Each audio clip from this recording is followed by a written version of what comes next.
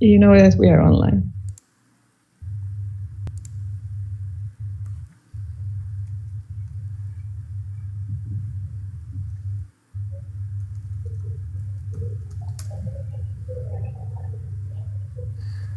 Welcome, everyone, to uh, the Mechanics Chess Social uh, Friday afternoon.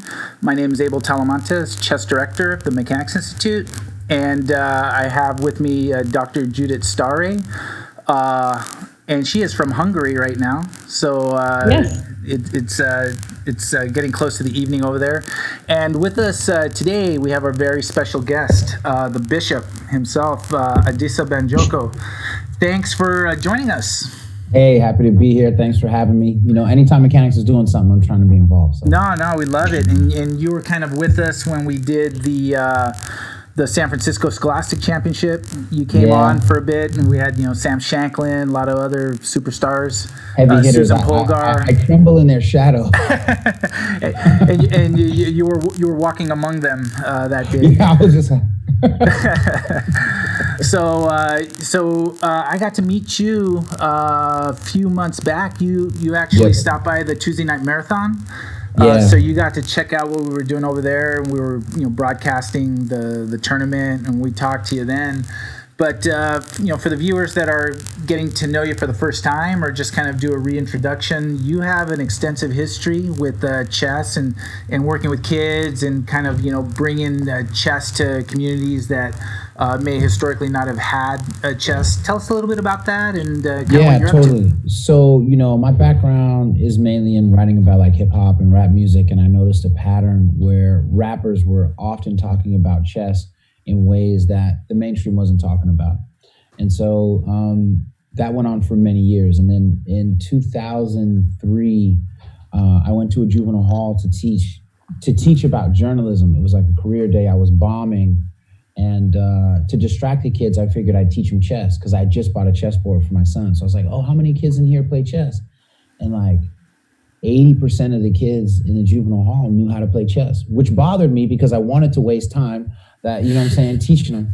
So then right. I was like, all right. So I was like, all right, well, well, what if we have a tournament? I was like, let's have a tournament and we'll see whoever wins, I'll give you a book. Like that's how we'll do it. So we set up a tournament. The first tournament, there are two black kids playing, and this white kid is like, hey, um, don't move your knight. And the dude's like, shut up, man. I'm doing I know what I'm doing. He moves his knight and he loses his queen. So then all the kids like, oh, the white kid knows how to play chess. He's brilliant. We gotta, you know what I'm saying? Then later, a kid who was really heavy said he was like 300 pounds. He said he was going to win. And they were like, get out of here. This isn't a sandwich eating contest. But he ended up winning. Right. And when I left, I was like, man, look at all of these kids. Like I saw racial barriers fall. I saw like, like identity issues fall. And I was like, all because they knew how to play chess. But I was like, if they play chess, but they make bad life decisions, like what could help? And I started thinking of all the rap lyrics. So I created the Hip Hop Chess Federation to use hip hop as a vehicle to introduce kids to chess. And then I created a separate batch of like life strategies based off observing the game so that people could like make better decisions in their life so they wouldn't go to juvenile hall. So, you know, I've been doing that for a while. And then in 2014, um, I was invited to teach some of the curatorial staff over at the World Chess Hall of Fame. And we did Living Like Kings, which actually brought more people to the opening day than Bobby Fischer's exhibit brought to the opening day.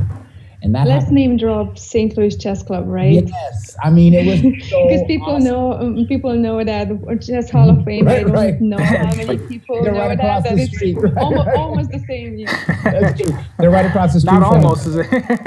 right. So. And, and so that that's actually a big deal. Like I, I cannot stress enough that you got an exhibition there.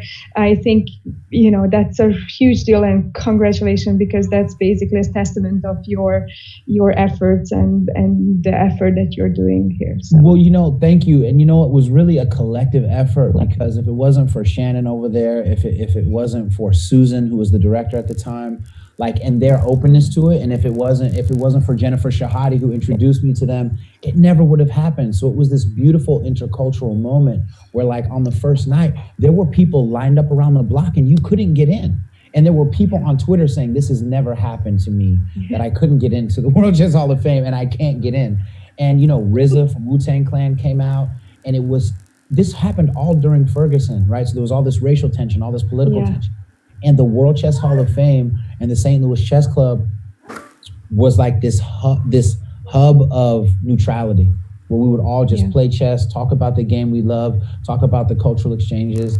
And so, you know, um, in 2018, I got invited to do another exhibit at uh, the Oakland Museum of California, and that was called Respect uh, Hip Hop Style and Wisdom. We had a whole section on chess. We had chessboards out there. Um, uh, Jennifer Shahade came out and did a did a did a did a whole talk, um, and it was just it was just really powerful. And we and no matter what time you would go uh, to that place, there were always people on the boards, and that brought me like the most joy to see that this connection between hip hop and chess wasn't just like a passing thing, but people were, you know, continuously doing it and and cultivating it. And I think that it's been, um, I mean, from now since 2006, and um, I'm just really grateful. I mean, even to be here now with you guys, it's it's it's a big honor, and, and I think it's important. I always remind people how important mechanics is. You know what I mean? Like when you think about chess in America, you think about New York, you think about Boston. You know what I'm saying? But you don't recognize that mechanics is the root of so much of what has happened in American chess. It's and we're we're close to so much just being in the Bay Area. Mm-hmm. Um, and uh, you know, and you know, the thing about those uh, exhibitions that that you put on, it's like they weren't chess specific exhibitions. They they they fused chess with culture and and with art and that's what kind of made it powerful. And, and, you probably brought in a lot of people and got a lot of interest from people that may not even be chess enthusiasts, but they were oh, curious about how totally. connected. Yeah, we, we what we did is I worked with a guy uh, named Mike Relm, R E L M, and what he did is he had uh, like a documentary thing that played hour by hour through the entire exhibit. Right, so when you would come in, there was this area to your left. It had two wall-sized um, movie screens, and it was taking people through the history of hip hop. And then there was this whole situation of of martial arts and chess, and it was just so cool because it was like Wu Tang Clan stuff coming in with kids playing um, um, chess, coming in with people doing jujitsu, and it was all like merged. It was and Bruce Lee because Bruce Lee's from Oakland, you know what I mean. And so there was all this imagery coming in, and people really loved it. And I think it wasn't just to see the stuff on the screen, it was to be able to like look at that and go, wow, that was cool. Then you go in the next room and there's chessboards. So, you know, dads are teaching daughters, you know what I'm saying? Grandmas are playing, you know what I'm saying, with their grandsons. And it was just, it was great, man. It was great. So, how did it come together? Uh, because, you know, you sort of bring together chess with, uh, uh, you know, like the rap lyrics mm-hmm. and martial arts. And so, mm-hmm. like, you know, kind of what stirred within you to sort of fuse all of that together and find that common commonality? Well, you know, it, it, it wasn't intentional. What it was was I came up in hip hop. I was a journalist, so I was kind of aware of these lyrics, and I was always kind of making a database in my own mind of chess lyrics. So I'd be like, oh, that's Public Enemy. They just said something. Oh, that's EPMD. They just said something. Oh, you know what I mean? And I was I was pulling it together, and then once I started learning jujitsu for myself, once I started working on jujitsu for myself, the way that I could remember the moves was when my instructor, Ralph Gracie, he would go, you go here, you go here, you go here. And I'd be like, oh, it's like chess. Mm-hmm. Right. That's how I kind of started to remember uh, the moves for myself. And so at a certain point, I was like, whoa, I said, you know, it's like chess is jujitsu for the mind, right? Because it's like a battle right? And then jujitsu is chess for the body because you have to be strategic in how you figure out how to win. You know what I mean? And once I kind of started looking into that, I saw other um, jujitsu masters like Jean Jacques Machado. He has a book on jujitsu, and he wrote that jujitsu is like chess.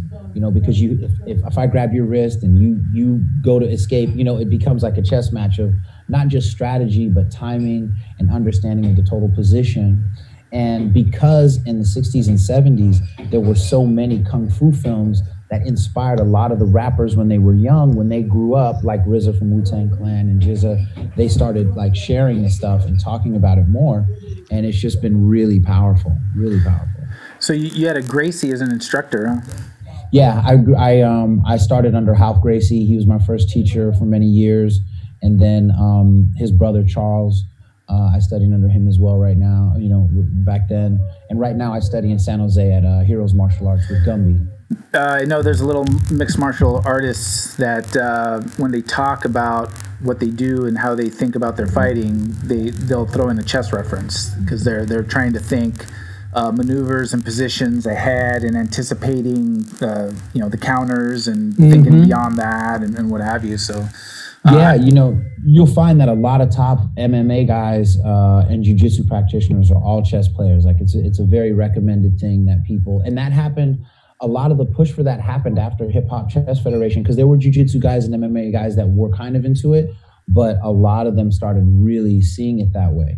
And um, you know, it's um, it's a good thing. I think that there's this fusion. Like, I think for the average human to be happy, they need to have healthy um, mental and physical ways to express themselves. You know what I mean? And jujitsu um, is is and chess, they really complement each other in that way on one of my last podcasts, I have a podcast called um, Bishop Chronicles, and I had a psychologist named Dr. Elliot Gann on, and he was talking about hip hop and the human brain, and like what is happening cognitively when a person is making a beat, when a person is rapping, or when a person is dancing, what's happening in the brain. And it was a fantastic conversation. And when I started asking him about like how chess impacts executive function, you know, which is the part of the brain that is kind of like air traffic control, helps him multitask and stuff like that. He had some amazing things to say about like the value of chess and the value of art. So I think that, you know, because young people are naturally artistic and they're naturally curious and they naturally want to um, express themselves physically, that if you fuse, you know, not all hip hop, there's some hip hop that parents absolutely should not want their kids around but you know, not at the not at the ass, not not at the expense of the hip hop that is going to elevate their understanding of humanity, that is going to teach them about you know the beauty of human culture and stuff like that. So. so, kind of like going back to something you said earlier, I remember uh, back when I was uh, uh, coaching and you know I had my own uh, chess company and I would coach in schools, a lot mm. of times I would do like open houses where mm-hmm. I'd have a school that was interested. And you know where I live, there's a lot of in in a lot of areas that are like heavily Latino, like in my case. Right, right. Totally. And uh, I'd go there and to do an open house to sort of introduce chess, and I was just like shocked that how many of these kids already knew. Yeah. And yeah. and, and so then I was asking myself if you know if all these kids already know how to play chess, like how come I'm not seeing them in tournaments and things like that? And then it, it, you know it's kind of dawned that you know these kids you know don't have the resources to go through uh, after school programs that might guide them to tournaments or pay tournament mm-hmm. entry fees. Uh, but when we did free programs, um, the composition of the class was like reflected the school, right? Uh, right but then right, you go, right. but then you go to a, a, you know a local tournament and you don't have that same makeup of you know kids from these backgrounds. Um, what you know what is it that people are doing in the homes, for example? Because like they're learning chess from somewhere.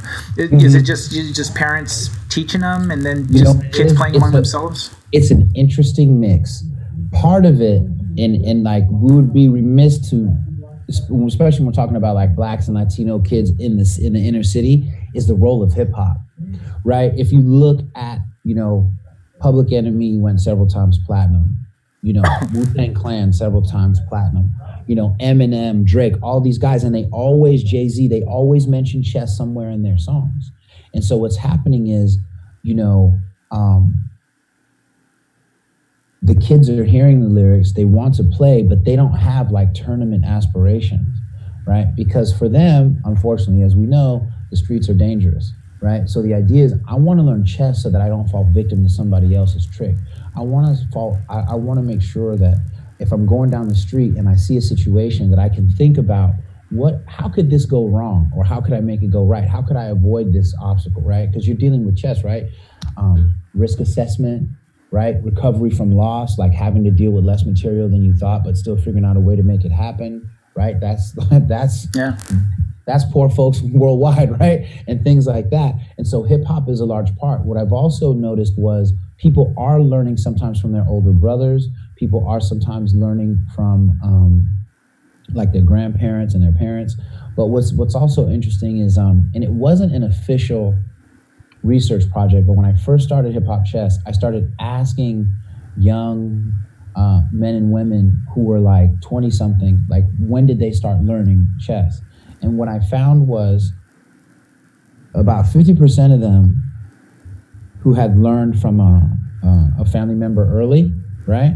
They just loved the game and they kind of went through their life and they didn't have any problems. However, the ones that didn't learn it that way, they usually ended up learning in juvenile hall or jail after.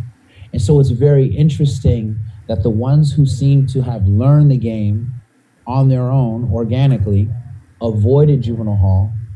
And then the ones who got it later, usually, I mean, I'm not really sure what their recidivism is, but I was impressed by the fact that if if people were just learning it and you just start thinking about how things can go wrong or things can go right for you without any philosophy, it helps. No, that's uh, it, yeah, it's just a fascinating th- thing to think about. And actually, one of the really cool things that the U.S. Chess Federation uh, has done recently, Judith and I working on the clubs committee, is that while their goal in trying to spread chess and uh, mm-hmm. promote chess clubs is to try to get new memberships to the U.S. Chess Federation. Uh, they see the highest importance is just to getting people playing chess and not necessarily having to convert members. And that's always been my thing, right? Because obviously, like I said, like, you know, I'm not Maurice Ashley or a super high level playing person, but my goal is to get them in, know that it's fun, get them to see a value in it.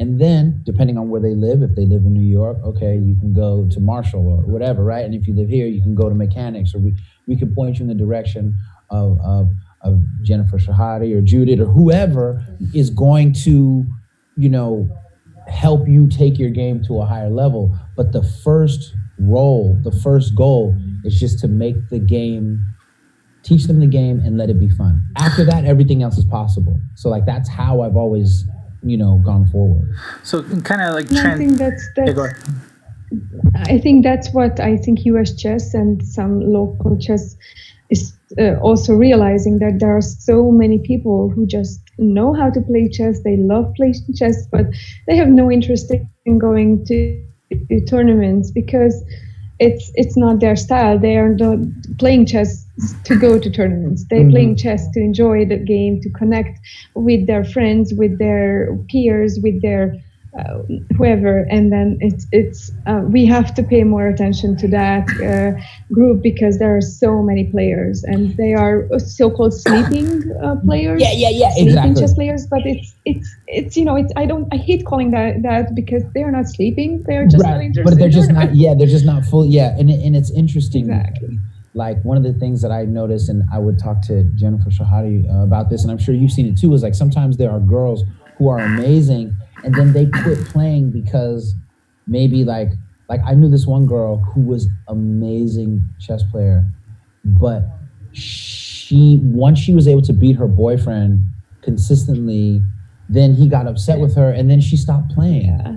And I was like, no. I was like, keep playing. Find a better guy who does play chess. Like that's yeah. the guy that you want. That's a whole other. always frustrating how, why girls the quit, girls right? quit. Yeah, exactly. You know, and so it's like you know, yeah. um, so as long as we can just keep them playing and yeah. keep them excited and feeling like you know they're getting some type of value for it, we can hopefully get them you know to, to, to these tournaments. But I think um, you know this kind of uh, outreach is important. I think it's really timely, and I think that um, as you know, hopefully, assuming like you know Dan Lucas and everybody over at US Chess and Mechanics and you know Jennifer and everybody at St. Louis, as long as we do our part, I think that we're going to find some fantastic gems. You know what I mean? In in communities that we weren't as close to before, and I'm looking really forward to that. I think we're going to find some dynamic girls, some very dynamic young men and I think that we're all going to be happy with um, this resurgence of chess um, in America and the world, especially because of COVID. It's like a weird thing, but because everybody's jumping online, right? Because they can't get out, I think we have a great opportunity to create a lot of uh, cross-cultural unity, right? To to create a higher a higher level of respect for um, minds that were not particularly being celebrated, you know what I mean? And, and the genius and so many amazing uh, young girls around the world and here in the country and, you know, young boys and, and just, man, I think it's a good time. And, I, I would, yeah, and it's, it's, it's just to focus on whoever is your opponent. It doesn't matter, right? Yeah. You focus on your game and what, what the opponent is playing. It doesn't matter who is who's sitting next to the board, right? It's the game is is uniting. Um, I I always love.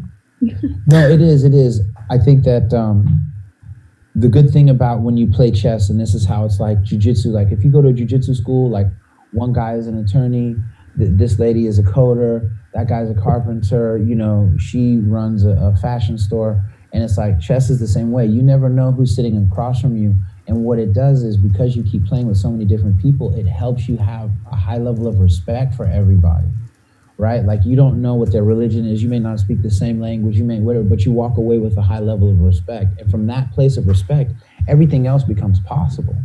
Right? And exactly. that's why I really love chess. And you know, one of the things we've seen from some of our students that have gone through our uh, scholastic programs is we've had them where they've gone to other countries and the parents will send us a picture of them playing chess in that other mm-hmm. country. Mm-hmm. And it, it just kind of like brings to mind sort of what we're talking about that one of the unique, really cool things about chess is it, it's something you can engage w- with somebody else from a completely different culture, from a completely different country and language, and and you sit down and you play, and you're speaking the same language when you're engaged in playing.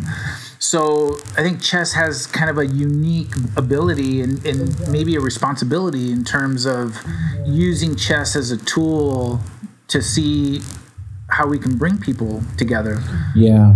Yeah. No, I think I think that is that is that is where it's at. You know, um, I did an interview. Also, I, go ahead and also i think it teaches kids how to communicate right because the the other thing is what i find is uh, i mean there are cultural differences right mm-hmm. and uh, especially different countries mm-hmm. um, but within one country too uh, but chess makes it, it um, teaches kids how to communicate how to respect each other and how to effectively uh, I can't say I can say you know, effectively communicate your position and your opponents and res- uh, show respect and and come to a conclusion that hopefully hopefully better the world. Right? Yeah, no, I think I think that's that's where everything should be headed. That's that's what the timing is right now, and I can't think of a better game than chess for our for our global citizens to to take a chance to engage in you know? Like what, what do you think is sort of the next step? I mean if, if we didn't have covid right now i would be asking all right what's the next step you know for us? Because you know we, we really want to one of the goals that we have at Mechanics is we really want to make an, an impact in our local immediate community. Right, right. Um, and, and engaging those communities, which of, of, which there are many in San Francisco, right, and, right, right. And Oakland, and you know Hayward and surrounding areas. Um, you know, reach out to them and, and kind of like more on the local level. So, you know, sort of getting a little bit away from, you know, kind of the national level that, you know, we love to right. jump into as well but kind of making it more local and kind of engaging communities that are not thinking about tournaments right, right. off the bat. Like but now with covid you know we're doing a lot of online stuff so it kind of creates a bigger challenge in terms of engaging new people. Right like how do you find them now right, right. like what, what, do you think of that? Like, you know what? It's it's a mixed it's a it's a mixed that is a tough question. I'm gonna have to think about that like yeah no it's not easy. because my first answer thinking of my pre-COVID mind was one of the things that we used to do at HHCF. Like if we knew that they had a thing called Hiero Day, which was a big outdoor music festival in Oakland, right? And we would just go set up a booth because they would give us a booth for free, and we would just set up tables and just back up. The music's already there. Oh, can we just play? Yeah, it's a free game. Like, cause you know, we're not charging. Go ahead and play. And people would be lined up to play. It was unbelievable. I never thought like there would be like we had four boards and there were like 20 people in each line just waiting for their pair to go up, you know? And so again, getting it back to the fun. Now online that becomes harder, right? Because where can you go online to find where these people are and kind of sprinkle this opportunity to play chess for free? But I think that little by little, um, again, in, in urban communities in, in large part because of hip hop, and I think also just because um, of course, people like the traditional gaming, but but you know, I think chess for a lot of people is just a family tradition. You know, like my dad taught me chess when I was like five. You know what I mean? Just because he thought it was fun, and you know, we kept playing. I taught it to my son and my daughters, and so I think um, in a in a post COVID time, it's very strange. But I think that maybe when we come out, like when the reopening is official and whatever that means, you know, because things are so uncertain. I think going forward, if we can just um, if if wherever you are in the world, if there's a chess club, take your chess to the people you hope to impact. Right? Don't assume that oh oh there's mechanics I didn't know and they're gonna come by. Right? Go somewhere you know into your city right uh, to an outdoor festival. Just put some boards out and just let people play, and then the organic thing will happen. I actually had a coworker one time where I was saying you know, I was walking down the street heading back to the Caltrain station, um, mm-hmm. and I was passing by a Peet's, and mm-hmm. I saw someone there at the one of the tables, do like with the board set up, like ready to go. Yeah. And and I said I, I thought that was pretty cool. And then uh, she goes, "Did you stop and play them?" And then I said, "Oh no," because I was going, you know. But then, right. it made me think, you know, it's just like little things like that because you know here's someone that's like looking to engage, right, and socialize, right. and right. you know we, we have to recognize those opportunities, right, to to engage and and uh, you know and and maybe that's kind of like our responsibility to learn to recognize opportunities to connect with someone through yeah, chess. You know what I mean? And so, like, I remember in, in Fremont, there was, I don't know if it's still around just because COVID, but there was a Starbucks on the oh man it was it was right by the luckies. It was right by the luckies. I know exactly how to go there. Not the drive-through no no no. Oh, yeah. there was like it was right next to the luckies. There was a luckies and a starbucks and there was like a group of like 10 Persian old dudes that would always be there playing chess. And they were all like assassins. I would show up and I would like try to play them and they would demolish me super fast. But it was always hilarious. And we always had like so much fun. And then other people would play. And like, I mean, like, that's the stuff. You know what I mean? Like, that's, you know, those those moments were golden for my head, golden for my heart. I remember that all the time. And so it's like, I think it's like, how can we it would be great if we could find those guys and say, hey, why don't you come up to mechanics one day? You know what I mean? And and and like I know like in Oakland around Lake Merritt, um, um, in the Piedmont area, there there's I think in one of the Starbucks over there, there's a lot of African American older dudes that play. Mm-hmm. You know what I mean? Yep. So I think we kind of have to go. All of the chess clubs nationally are going to have to think about where are people playing chess anyway, and then right. that invite them you know, to an open house at our like, spot. Like not about rated chess. Cause right, I, cause, cause, Because I actually you know? know? I mean, there's a lot of people. Yeah, uh, I don't know if you know Juan Sendejas, who does a lot for mechanics. Yes, he, yes. He's, he's, he's, he's one of us.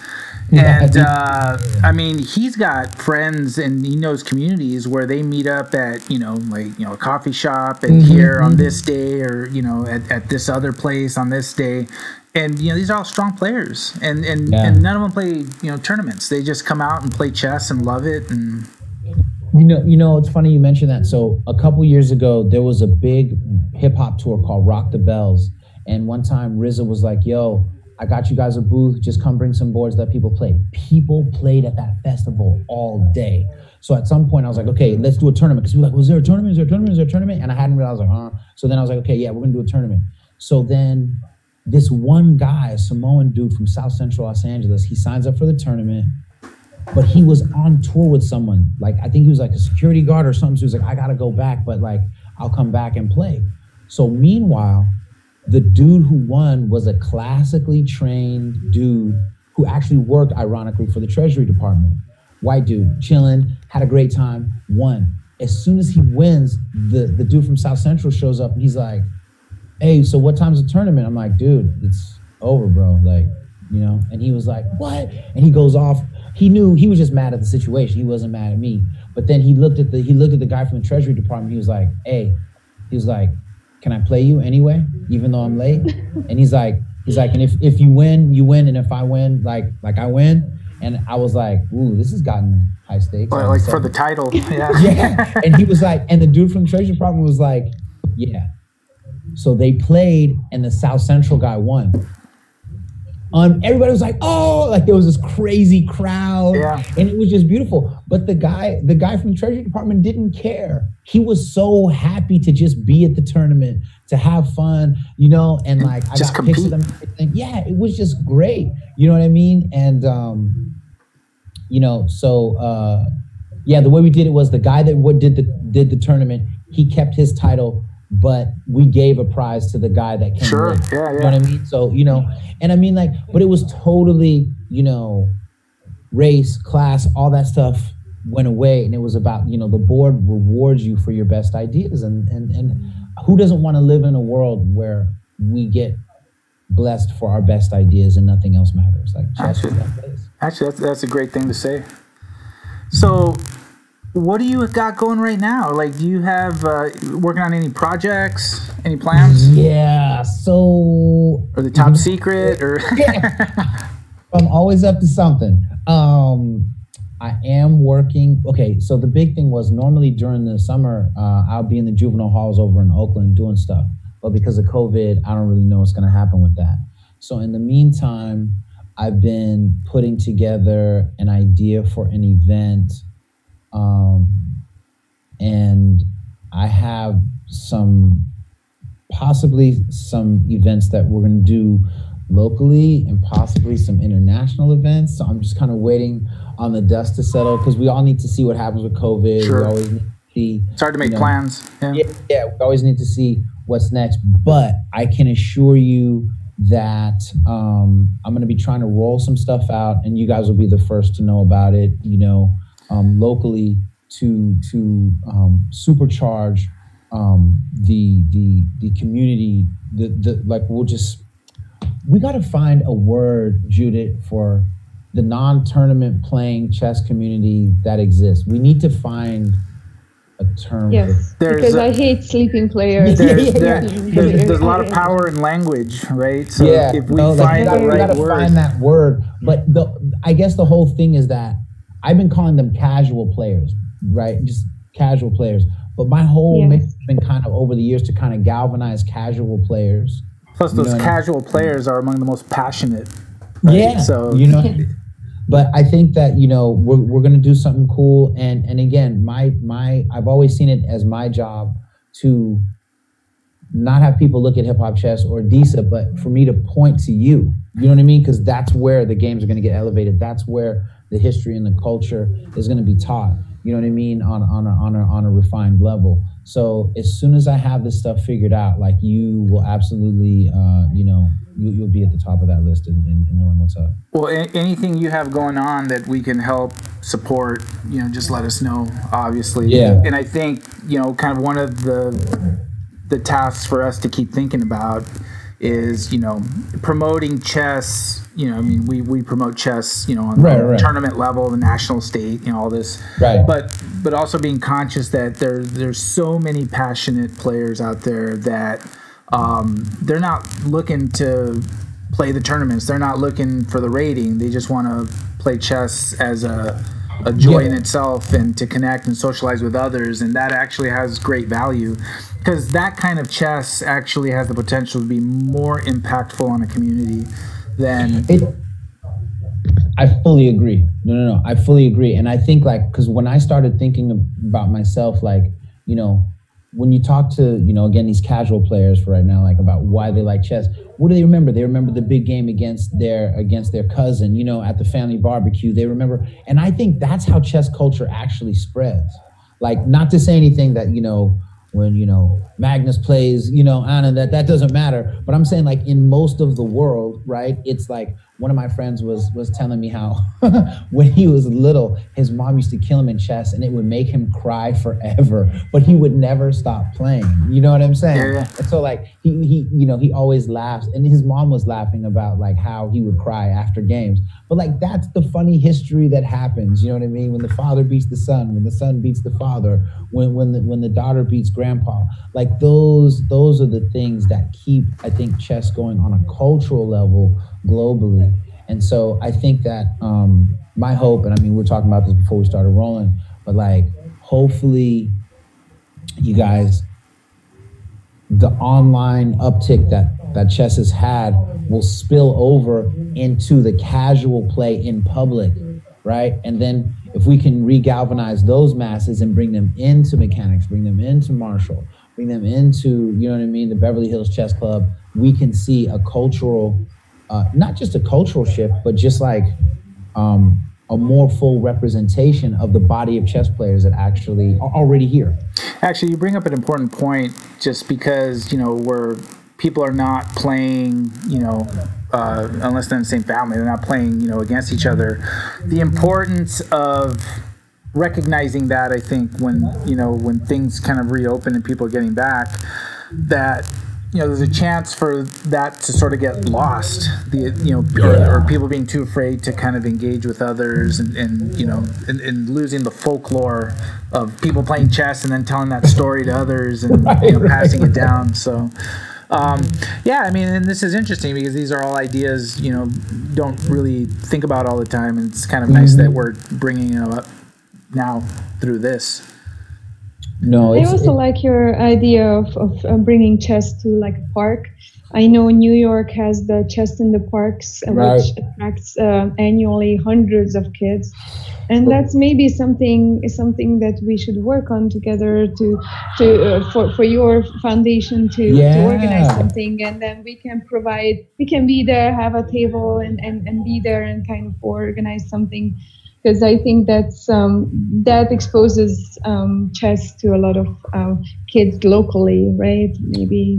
No, it does, and you know, you guys may know more about it on a city level, but there was an area around Fifth and Market that used to have a lot of like street players. Yes. And then a bunch of politics happened, and they kind of got cleared out, and then it was very interesting right. because there was a, a city council person who I was speaking to, and they were like, "Yo," because I said, "Look." That's not okay. If like if you're going to get rid of that, what are you going to give? You know what I mean? And they're like, oh, we're going to do all this stuff. And of course, it never happened. There was actually a documentary uh, made about that, the street chess. It was called Street yeah? Games. Uh huh. Oh, if you, if you look it. on uh, Amazon, Amazon Prime, it's there. It's, okay. It's interesting. It's about that, uh, the street that chess on Market Street.